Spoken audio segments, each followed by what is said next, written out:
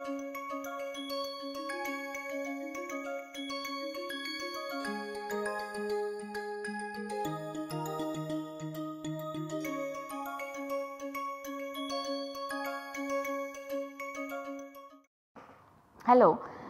and welcome to this section of tutorial 12 entitled Hydrologic Modeling using Microwave Remote Sensing.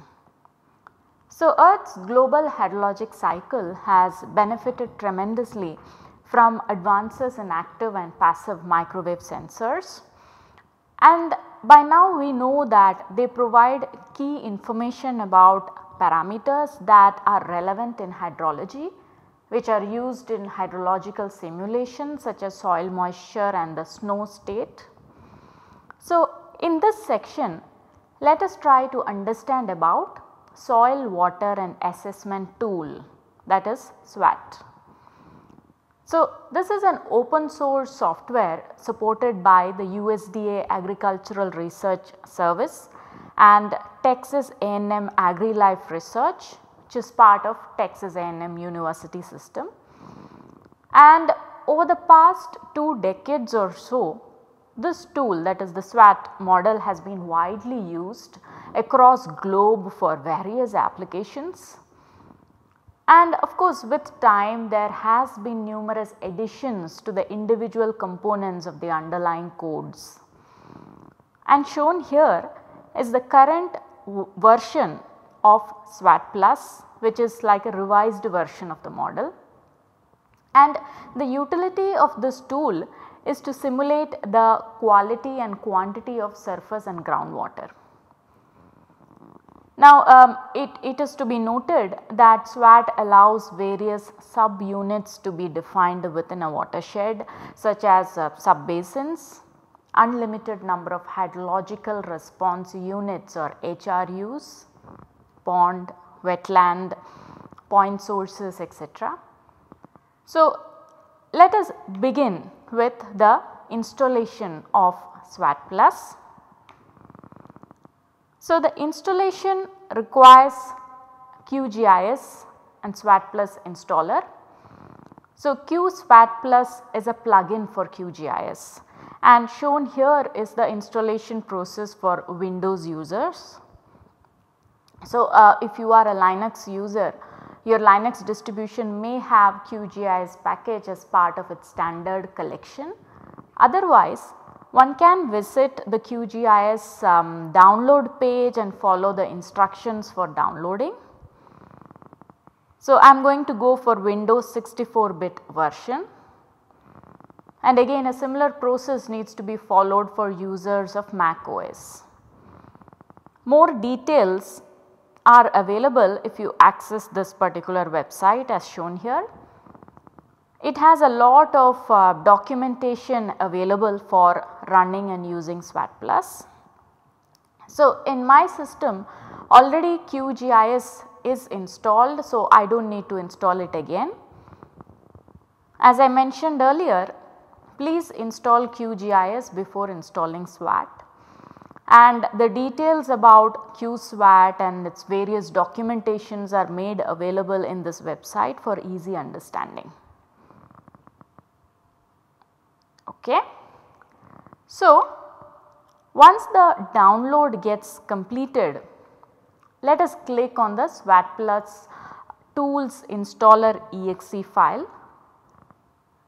which will take me through a list of processes for extracting the files into the C drive and then the SWAT plus editor will be set up. And I can check in the system and make out how the interface looks like.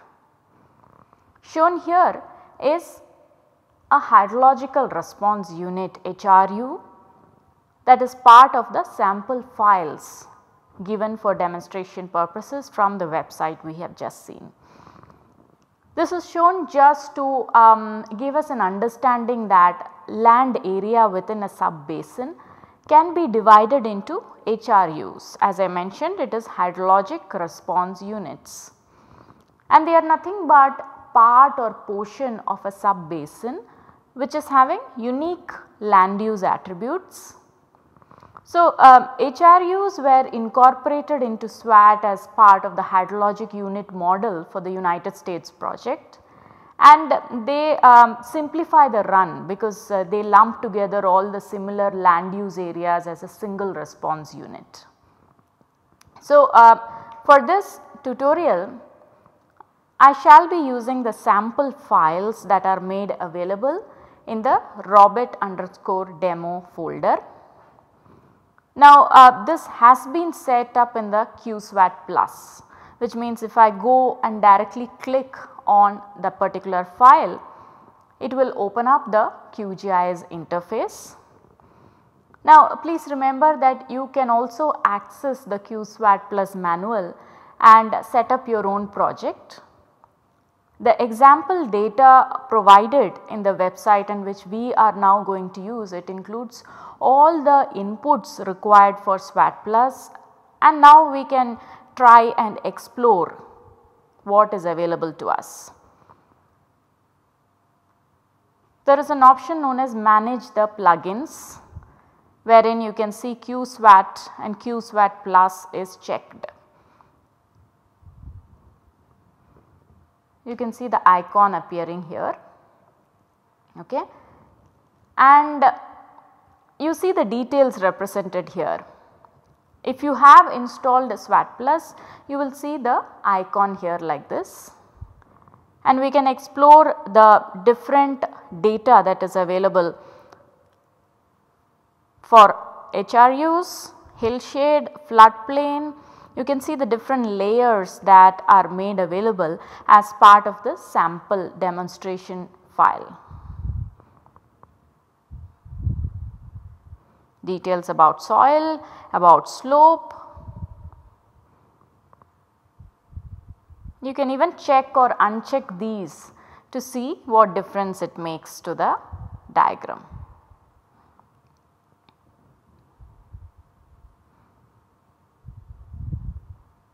Alright.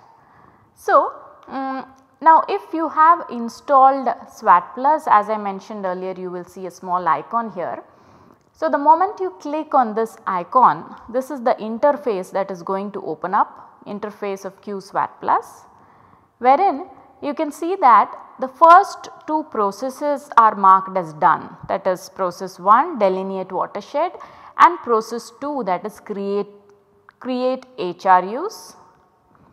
So, they are shown as completed which means I can go ahead and click on the third step that is it will open up an editor project from QSWAT plus.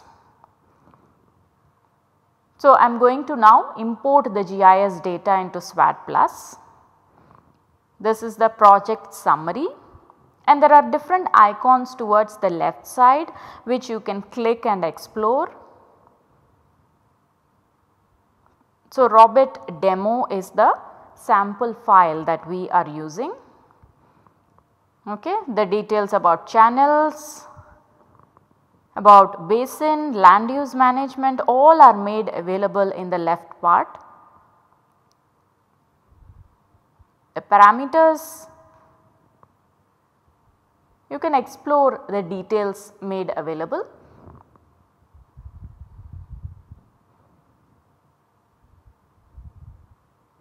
Now, um, what we have to do is we have to edit the inputs. For that let us try to decide about the weather data. So, the weather generator needs to be set up for us for which there are different options provided. One can click on the import data and select the CSV files as the data format. So, if you see here the project summary is visible. So, if I just click on the add weather generator option and import data, this is the interface that is going to open up and it gives us options to select the data format and the database file. You can either go for database or CSV file and there are different table names in database Remember this is for the sample file that is made available. So, I am going to click on the CSV files and go to the folder WGN wherein two files are available. This is for the station data and then I am clicking on the next data. It will give the monthly values. Okay. So, now I have imported and as you can see just a single row is made available. I can see the different variables that are being imported like maximum temperature, minimum temperature. Okay. So, what we have done? We have imported the data by clicking on the weather generator option. So, now the weather generator is set up and we need to select the weather stations uh, which is also present at the top left. Okay.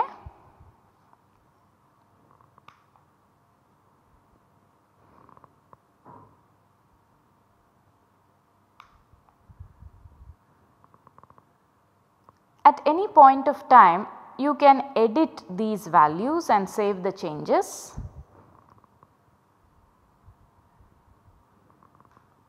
Okay. And you know there are different parameters and files codes that are available at the left side of the interface which you can explore and change as needed.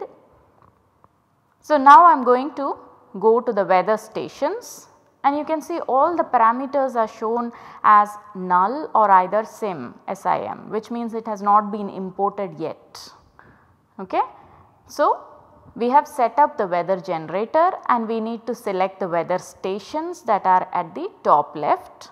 For that I can go to import option and again I can select the data format and the directory I am going to use the sample files that are made available and the directory to save the input files there will be a default directory present here. Okay. So, now the weather station data has been imported and you can see the values have been replaced now. So, if I can open it in notepad and see that the data is made available from year 1990 to 2013.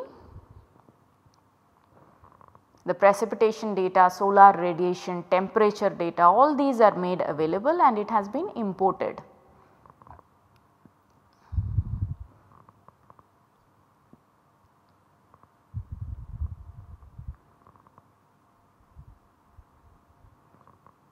Okay.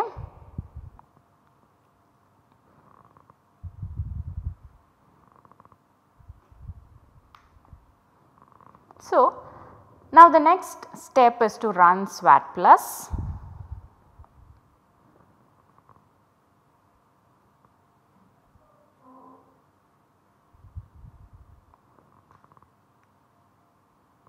Now, uh, before we um, click on the run SWAT plus button, there are options for us to confirm the simulation settings as is visible at the top for example, I can choose where to write the input files. I can set the simulation period. Okay. There are advanced user options which you can explore. For example, the time steps for rainfall runoff and routing you can specify that.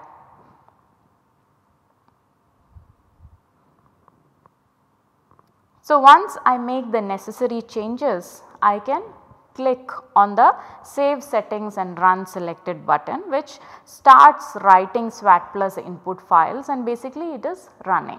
Okay. It takes um, uh, some time based upon uh, the settings that you have made in the page that was shown. So, uh, typically after you run SWAT there is an option for us to select the SWAT plus check. Okay. Now, um, we can perform SWAT plus check which reads model output from a SWAT plus project and performs many small simple checks uh, so as to identify the potential model problems. Mainly done for example if you have some issue uh, it helps us to identify the issue and they are brought to our attention and this is uh, often essential uh, to find out the hidden problems which require us to say recalibrate the model that ends up consuming a lot of time. Okay. So, once the run is completed this is the interface the dialog box which will be visible for you that all the selected tasks have been completed and after that I am going to see the SWAT plus check just to check whether everything is in order.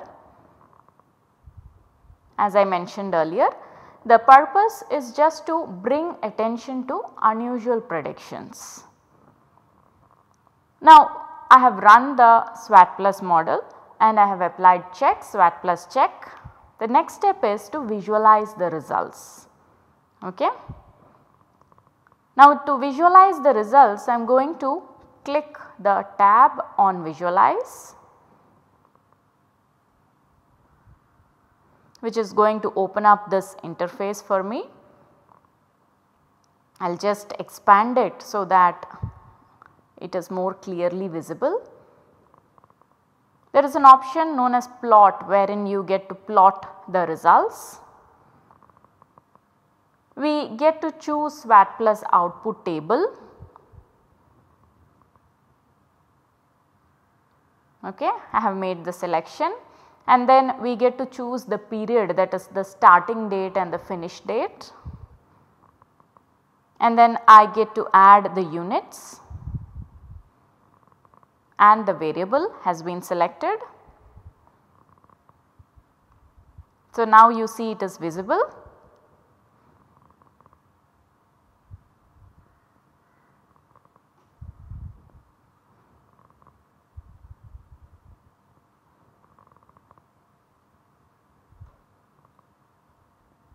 Let me just expand to show you that there is options for us to add the observed data file as well okay. This is the place where we add the observed data file. Now I press on plot and I am going to name it as trial. Okay. So the output is plotted here. This is the simulation output. Say if I had entered a CSV file for observation data, it would have plotted the observation data versus the simulated data in the same plot with different colors. Okay. Just a few options uh, which will be easy for you to use while dealing with SWAT plus. Now uh, the details and demo files are available in these links and um, just useful for you to gain more understanding about SWAT plus. So, um, till now throughout tutorial 12 we have started with trying to understand how does a hydrological model work and then we looked at the different types of hydrologic models and now we have tried to see how running a demo file in SWAT plus looks like. So, um, with this background let me now take your attention to land surface model which is abbreviated as LSM. So, um, LSMs are based on the solution of water and energy balance equations in the Vadose zone and land atmosphere boundary and it mimics the physical conduct of flux transfer in soil, plant and atmospheric continuum. So, in particular let us try to understand more about Noah LSM as part of this tutorial. Again just to reiterate land surface models are nothing but integrated models that can assess the available water resource as well as predict the impact of future changes in management and climate and it is an integral part of weather forecast models some of the um, widely used LSMs are the NCAR community land model CLM, um, variable infiltration capacity model VIC and the Noah model. So, uh, just a little bit about the history of land surface model because um, you know it started with the first generation model wherein there was no heat conduction into the soil constant soil depth was considered with fixed soil properties, water content was limited. And then the second generation of models happened wherein vegetation impacts, energy and water budgets, momentum transfer all these were included and several soil layers were also included followed by third generation of land surface model which also included carbon balance modeling and there was semi empirical representation of vegetation conductance. So, a simple comparison between the Noah CLM and VIC model is summarized in this table. With respect to soil, for example, the Noah model has 4 layers of soil moisture CLM has 10 layers of soil moisture, VIC has 3 layer moisture and temperature. Similarly, different vegetation that is adopted in Noah, CLM and VIC are shown here. For example, Noah, the dominant vegetation type is in one grid cell is seen, dominant vegetation type in one grid cell. And for CLM up to 10 vegetation types are possible in one single grid cell and VIC there is tiling in one grid cell. Similarly for the option of snow, if Noah has one layer of snow, CLM has 5 layers, VIC has 2 layers. So different land surface models have different underlying characteristics that is what I want to emphasize through this uh, table. So just to visualize the concept of land surface model, Assume I am running a land surface model over India. I have several meteorological forcing data that go as input into the land surface model. Okay? And then I am trying to simulate realistically a hydrological variable say a runoff or soil moisture that is coming out from the model. So, let us try to understand more details about the Noah land surface model.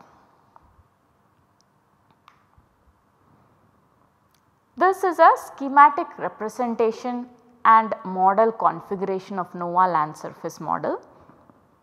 If you remember in the earlier part of the tutorial, we were trying to understand how a hydrologic model represents the different processes and we were trying to understand it through the water cycle.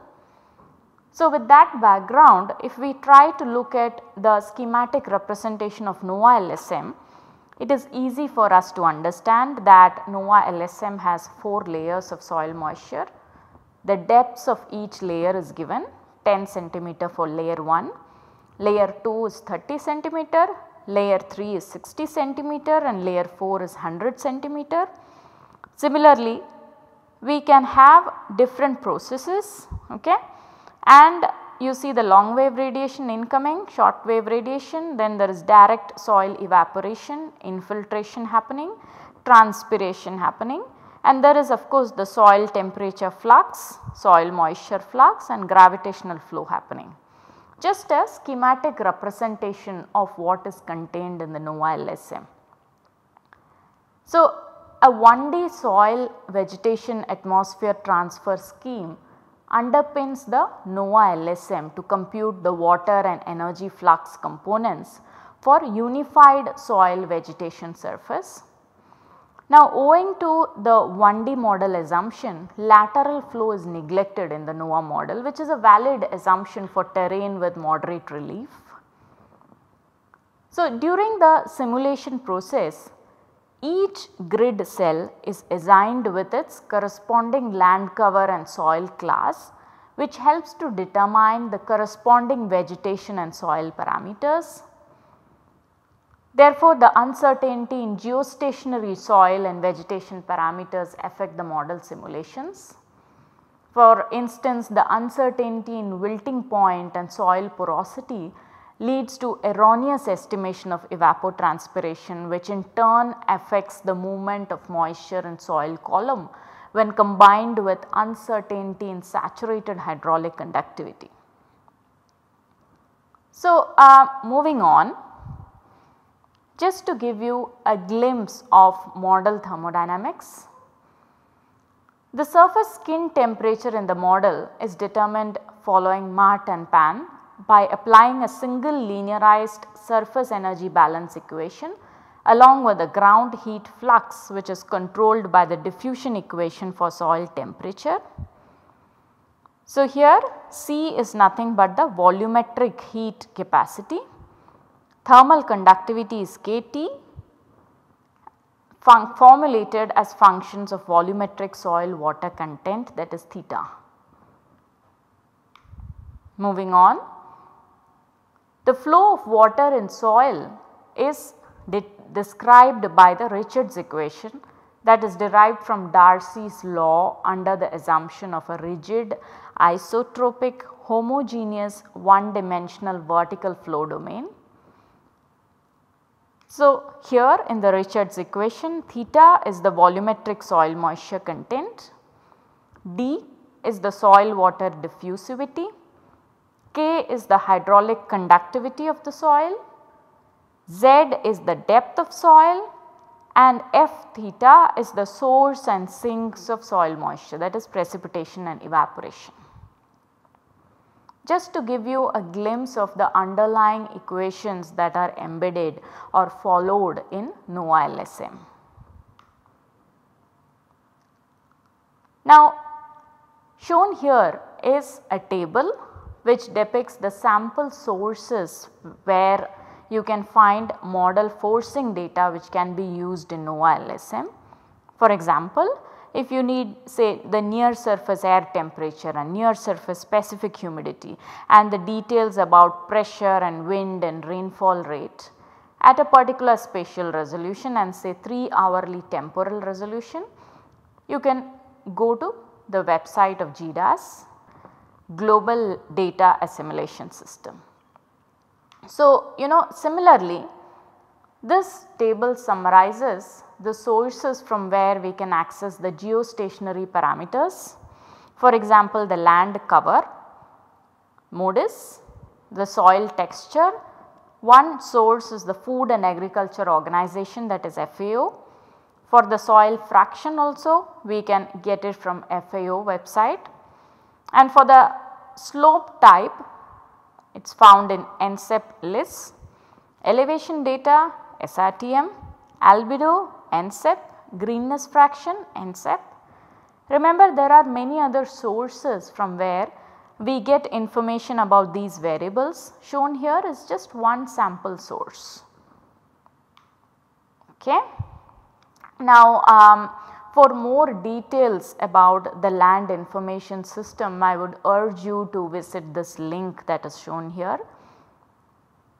So, um, for this tutorial 12 we understood very briefly about hydrologic models and then we saw details about the SWAT model and then brief details about the Noah model and among the different types of models available which is best for your application for example which model to choose from. So, to answer this question some benchmarking studies need to be conducted which compare and evaluate the performance between different models. So, please note that I am not endorsing any particular hydrologic model or commenting on the performance capability of any model. Shown here are the contents for demonstration purposes only. So, let me hope that you found this tutorial useful.